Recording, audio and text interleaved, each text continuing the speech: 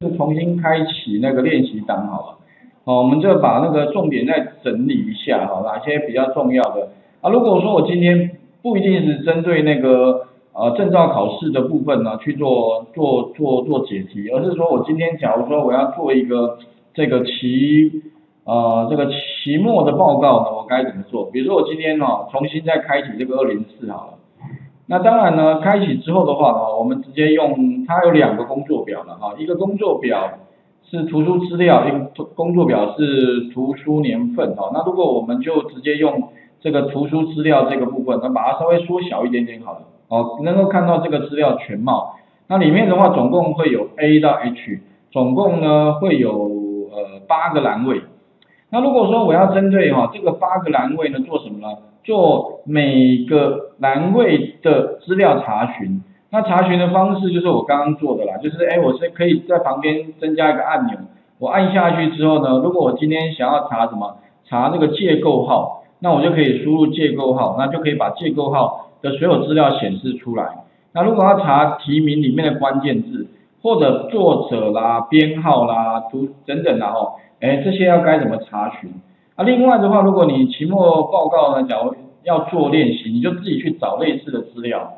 当然，你可以找类似书目了啊，书目里面到底呃用哪些书目？其实各大的呃什么图书馆哦，其实有些都有提供它的书目资料。你也可以把，比如说中央图书馆或国家国家图书，或者是台北市的市立图书馆等等的，他们其实都有提供类似这种呃这这种这种资料，那你可以把它下载下来练习。OK，你就做个变化就好了。那首先的话呢，如何针对这个做查询？主要我们上礼拜要讲一个重点，主要是透过它有个功能，什么功能呢？在 Excel 里面哦，如果你要查询资料的话，请各位注意一下哈，可以切到这个资料这个啊里面呢，找到什么呢？找到有关筛选，其实就用这个功能啊。大家特别注意，你游标一定要放在第一列的其中一个储存格啊。假设我放在作者这里好了，按个筛选。那你会发现哦，它的最大的变化，你按一下这个筛选之后，它会在每一个栏位名称的储存格的这个右边有一个下拉的清单，那这个清单你把它点下去，你会发现哦，如果建构号没有，你会发现，哎，它里面放的是文字，所以这边会出现文字筛选。那文字筛选能够所谓的筛选的查询能够查什么呢？因为它是文字，所以呢，可以把可以里面可以查什么？如果完全等于。哦，或不等于，或开头是什么，结束是什么？那如果说你想要做一个所谓的关键字查询的话，其实就是所谓的包含。OK，哎，只要里面有包含什么，包含 AC 好了，那就帮我找出来，你可以用包含。那同样的哈，你会发现题名点下去，哎，这边也是文字筛文字筛选。那哪些哪个地方有没有不一样？你会书号，书号里面都数字有没有？所以你点下去，你会发现哎，这里有点不太一样哦，哪里不一样？因为它都是数字，所以它这边会出现什么数字筛选，也就是说呢，针对数字来查询资料，那能够查的不一样哦。像刚刚文字的话哈，有包含，可是数字的话呢，就不是所谓的包含，而是它就比，要不就是比它大，要不比它小，要不就等于，OK，类似像这样的，所以查询的方法啊不尽相同哦。那如果你们到图书馆的话，你会发现都有那个什么啊扫描扫条码机嘛，B，然后它自动怎么样？自动就帮你扫出那个那一本书。啊，实际上啊，B 一下就是输入什么？输入那个书目编号，或者输入你的那个呃，就是你你的那个所谓的呃那个图书的借阅的证号，然后呢，自动帮你找到你的所有的借阅记录。那可是问题它怎么查的？其实就类似像这种筛选的方式。那首先呢，如果假如说我今天希望啊，最简单先从哪一个？先从书目，假如我要查，哎，我希望呢建立一个按钮，按下它之后呢，它会跳出来说，哎，请输入那个要查询的书目编号。那我假设输入那个编号，它自动帮我把那一笔资料帮我查出来的话，程式该如何撰写？OK 哈，那当然你们将来呢做的那个报告啊，其实也是仿照这个方式来做掉。所以第一个，我先做。啊，所谓的书目查，啊，书目编号查询，那做完之后的话，再针对其他栏去做其他对应的查询。那怎么做？一，先切换到开发人员，哦，二的话呢，哈，一样找到这个 Visual Basic，OK。那因为基本上大家大一都有学过了啊，所以我我们就等于是有点在复习那个一年大一那个所教的啦。那当然程式不会太复杂，大概就是两行程式就可以。那怎么做的？哈，先开启这个 Visual Basic，而且还应该还记得那个开启开发人员吧？哈，把它打开之后的话，Visual Basic 哈，二的话呢，记得哈，开发人员 Visual Basic，再来按右键哦，直接插入一个模组。OK，哦，所以在 Visual Basic 插入一个模组。那模组里面的话呢，我要写什么？哎，写要查询什么？查询书目编号，所以我就打一个名称，那个名称叫开头一定要 Sub。如果我要做按钮的话，一定是写 sub，空一格之后的话呢，我们就打那个，哎，叫什么筛选好了，我们这名称叫筛选，筛选什么？要筛选书目编号，所以就名来拿个名称书目编号。好，输入完之后按 Enter 就可以了。那你会发现它自动会帮我产生小刮弧跟 End Sub。啊，之前我们教是教的插入这个程序啦，从这边其实也可以啦。后来我发现好像从这边打会比较快一点点，啊，直接打，OK。接下来的话，程式要要怎么做哈？接下来的话呢，哎，如果要查那个书目编号的话，比如说最简单的方法啊，其实就是什么？第一个你要用所谓的一个物件啊，物件名称叫范围，所以你特别重要这边打一个 range，哎，range 的话顾名思义哈，就是范围，也就是你要查询的范围，哎，你要查的范围在哪里啊？哦，我要从左上角是 A one，冒号到 H 的哪一列呢？如果你不知道哪一列啊，你可以先点这边看一下，Ctrl 向下到五五八啊，Ctrl 向上啊再跳回去。那你可以呢把这个数字填上去五五八，然后后双引号后刮弧，再点哎特别注意哦，啊如果说你要针对这个范围做筛选，其实查询的话。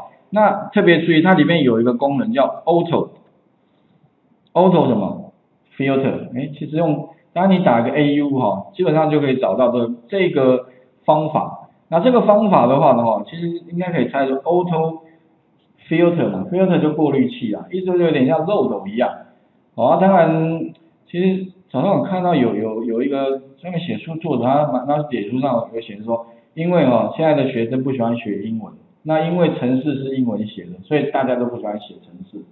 嗯，这有个道理，好像有点道理。那各位不用太担心，因为这里面城市的英文都是属于比较简单、基本的英文，所以你也不用太排斥它。反正你就大概知道说，哦，filter 就是过滤嘛，哈。